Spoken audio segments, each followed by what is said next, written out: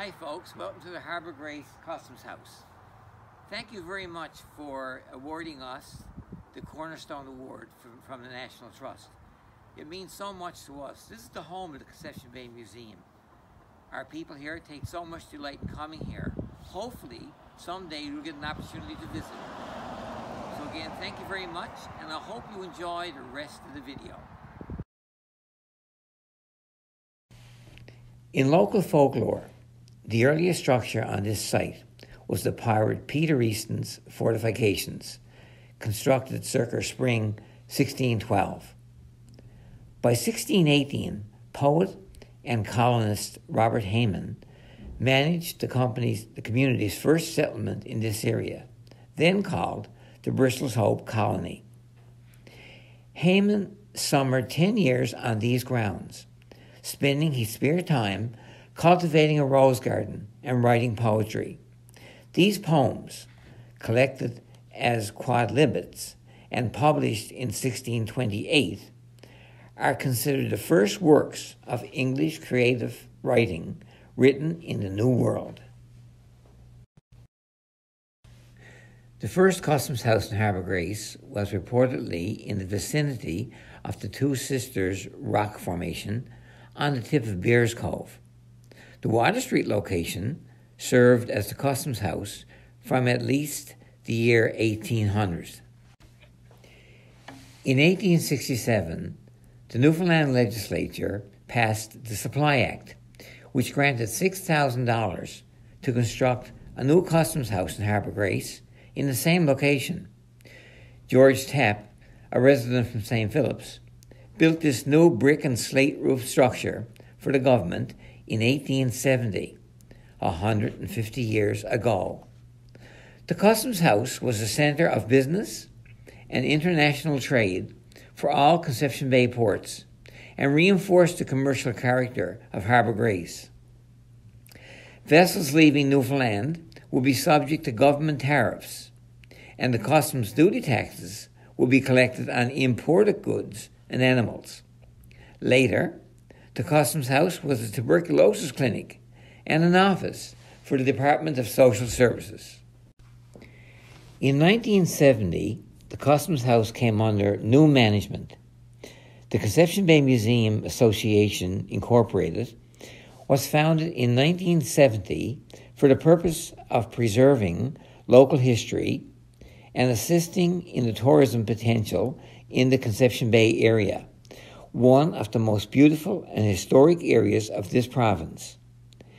Opening a regional museum in Harbour Grace's old Customs House and developing a historical trail from Brigus to Placentia were the first steps of the committee's five year tourism plan for the region.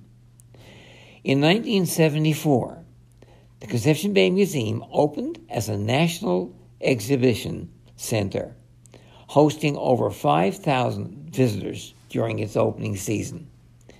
And in 1975, permanent local history exhibits were displayed to the general public. Much of the museum's early success is thanks to the Lee family, who guided the institution through its first years. The Conception Bay Museum features several local exhibits on the history of our region. The Aviation Room showcases Harbour Grace's history of transatlantic flights. 20 planes utilized the Harbour Grace airstrip for this pursuit, some successfully, some unsuccessfully.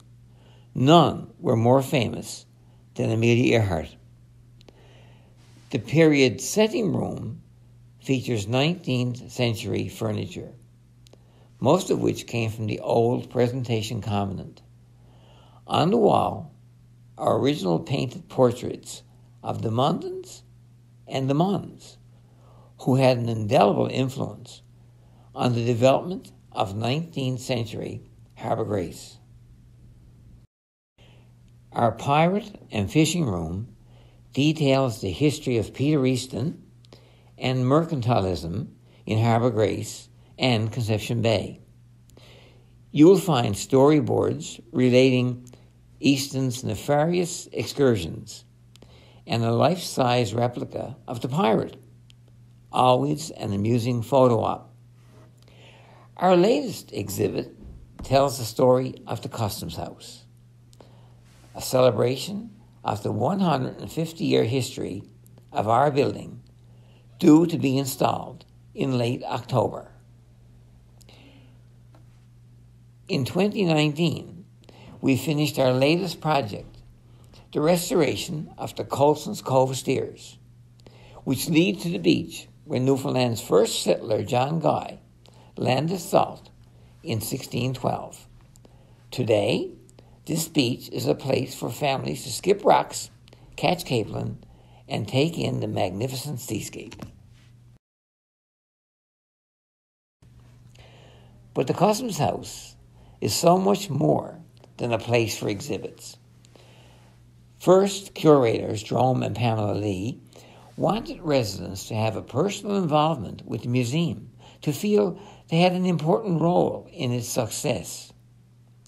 At the heart of their vision for the Customs House was to engage youth and the community through both education and culture.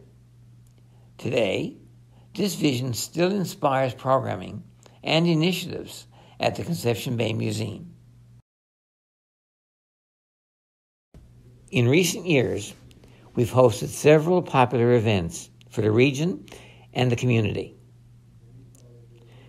Our Halloween showcase, Haunted Harbour Grace, takes visitors through the streets of town at night with volunteer actors performing characters from the past.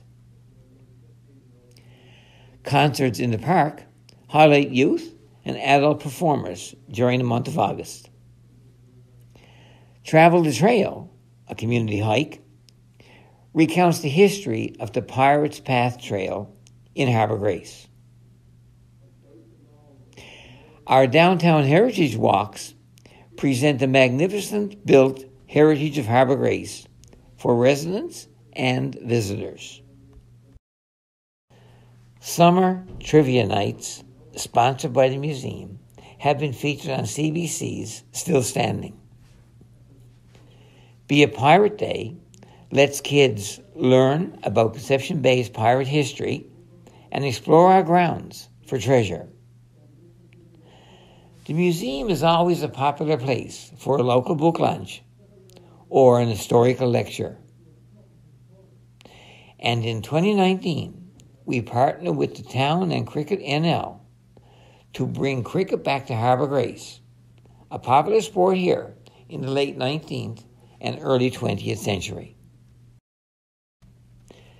Despite a long 50 years of work, the Conception Bay Museum Board is as active as ever. Our volunteers have made sure the Customs House remains a vibrant, vital heritage structure in the town of Harbour Grace. With the help of members from our board, the Heritage Foundation of Newfoundland and Labrador has explored redevelopment schemes for Harbour Grace's old downtown. With redevelopment plans, new exhibits, and ongoing proposals, the Customs House is set for a bright future in the town of Harbour Grace.